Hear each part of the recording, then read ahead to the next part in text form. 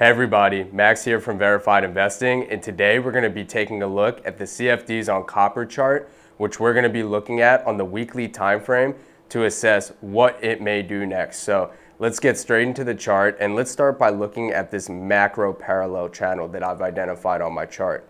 As you can see, there were two resistance points where it got rejected from, and three tests of support. And now that we have this in mind, we can look more at the local structure to figure out what it may do next. So let's start with its local support.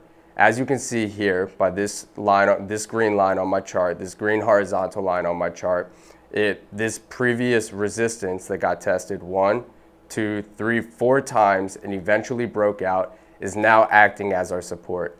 Upon breaking out from that previous resistance, it formed a new resistance in this double top zone, and that is our local resistance that we're going to be working with right now. Upon testing that local resistance, it pulled back and made that previous pivot high support. As you can see right now, it looks as if copper is coming back down to retest this line one more time. Let's figure out what I expect to happen if it comes back down to this line and retest. So the first possibility is that it gets a bounce from this support. If it gets a bounce from the support, I would expect it to head back to local resistance as marked by this double top right over here.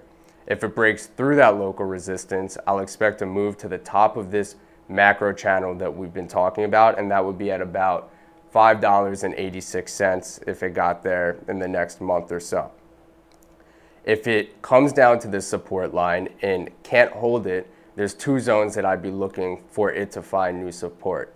The first would be the bottom of this macro channel. And if it can't hold there, I'd expect it to come down to this green horizontal line, which as you can see acted as a double bottom before getting its ultimate bounce through its local resistance at that time. So listen guys, these are the possibilities I see for copper right now. And I want you to let me know in the comments what you think is gonna happen next. Thanks.